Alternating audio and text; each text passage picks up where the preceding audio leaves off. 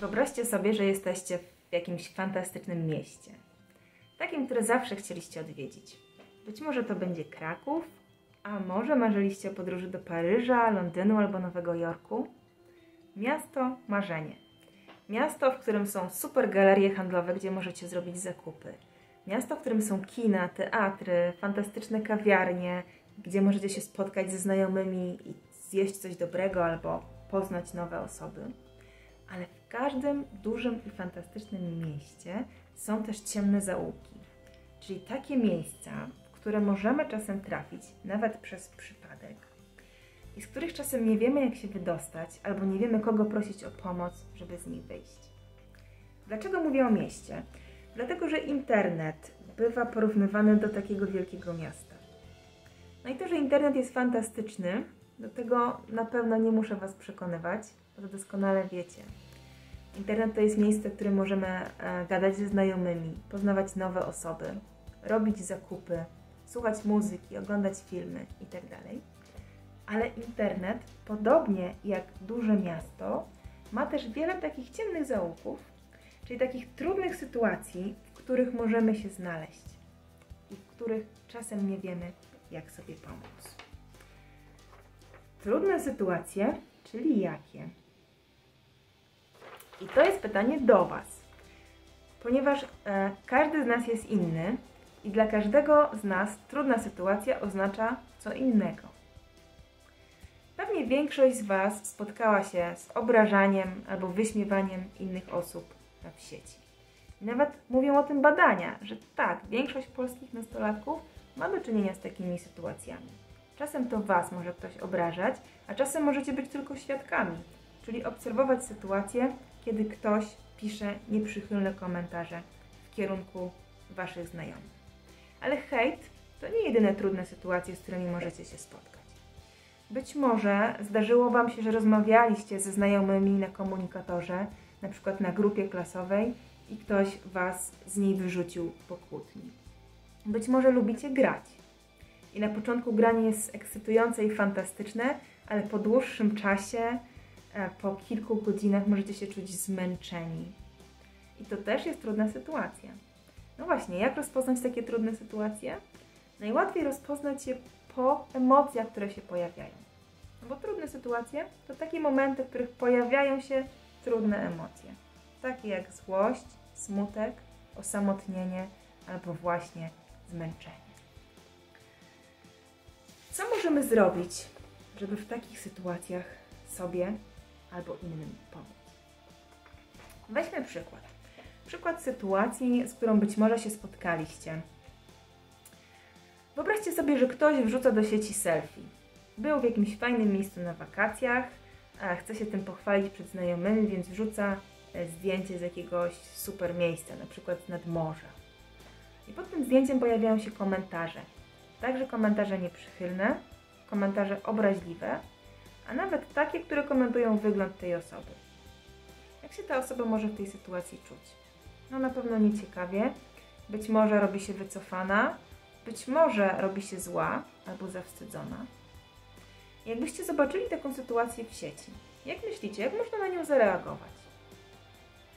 Pierwsza rzecz, która przychodzi mi do głowy, to jest odpisanie takiemu hejterowi, wejście z nim w polemikę. Nie wiem, czy kiedyś tego próbowaliście, ale jeżeli tak, to być może doszliście do wniosku, że nie było to najlepsze rozwiązanie. Właśnie dlatego, że odpisując tej osobie, zwiększamy tylko liczbę trudnych emocji.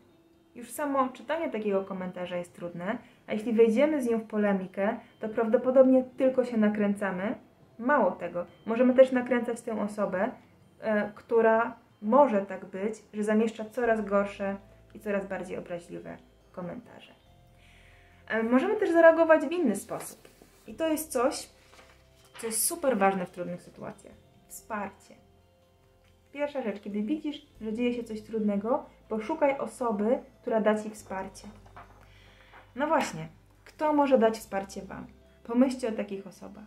Być może jest to mama, tata, ciocia, może przyjaciel, przyjaciółka, ktoś z Waszej szkoły, pedagog szkolny, ktoś, komu ufacie. Wsparcie nie oznacza, że ta osoba rozwiąże wszystkie Wasze problemy. Wsparcie oznacza, że ta osoba będzie przy Was, będzie Wam towarzyszyła, potrzyma Was za, za rękę, napisze SMS-a, napisze wiadomość, usiądzie przy Was na stołówce. I to działa w dwie strony.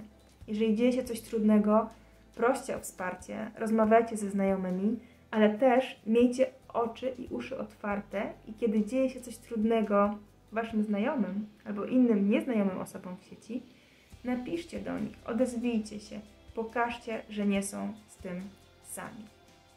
Oprócz wsparcia możemy zareagować też na wiele innych e, sposobów.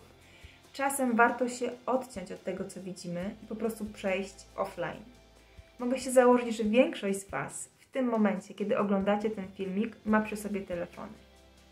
Jeżeli macie zainstalowane aplikacje albo portale, e, dostęp do portali społecznościowych, jeżeli na którymś z tych portali spotkała Was taka trudna sytuacja, to non-stop macie dostęp do tego typu komentarzy. Nie musicie na nie patrzeć. I czasem fajnie jest się od tego odciąć na kilka godzin, kilka dni albo kilka tygodni. Nie zaglądajcie tam. Ale zanim pójdziecie offline, warto zarejestrować, co się wydarzyło. Jeżeli macie takie doświadczenie kłótni z przyjaciółką, przyjacielem albo e, bratem czy siostrą i rozmawiacie sobie o tej kłótni po jakimś czasie, to czasem zdarza się tak, że różnie tę sytuację pamiętacie. A, I tak samo jest w, w trudnych sytuacjach internetowych, że pod wpływem emocji czasem nie zapamiętujemy, co się wydarzyło naprawdę. Wiemy, że ktoś powiedział, napisał coś przykrego, ale nie pamiętamy co. Dlatego warto taką sytuację zarejestrować. Jeżeli to się dzieje na portalu społecznościowym, możecie zrobić zrzut ekranu i taki zrzut zapisać gdzieś na telefonie czy na komputerze.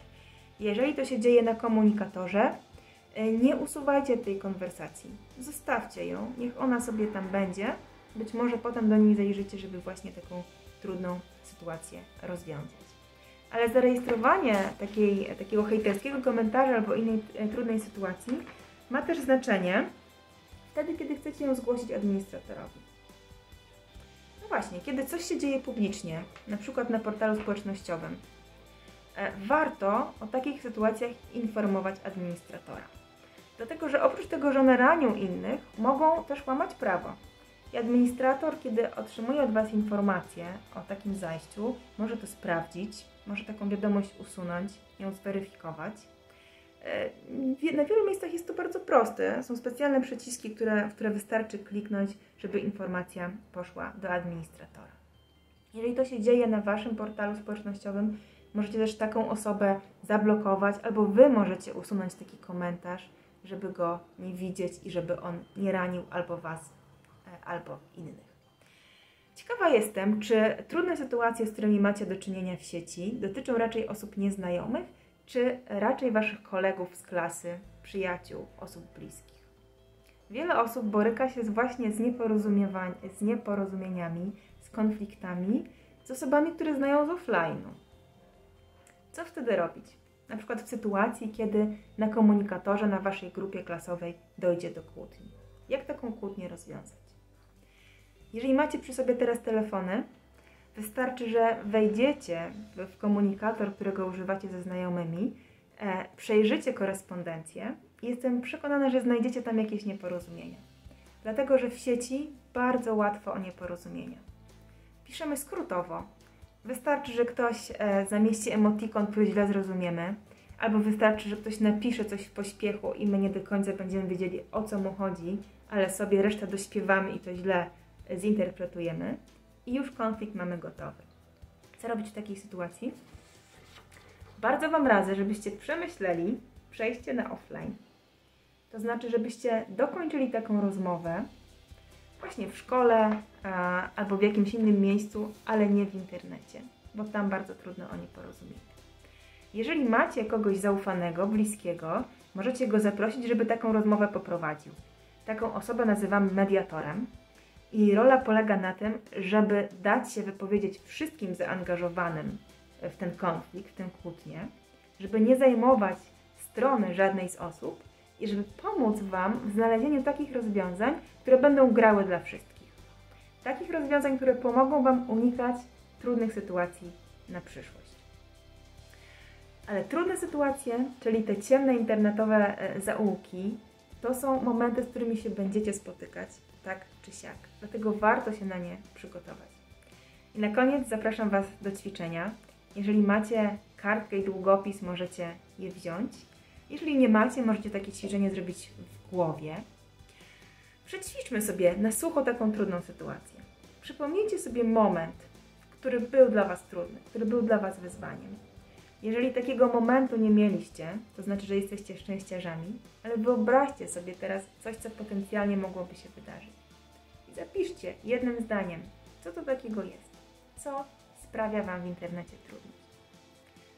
A następnie pomyślcie, do kogo możecie się zwrócić o wsparcie w takiej sytuacji. Kto może Wam pomóc, kto może z Wami porozmawiać, kto może być przy Was.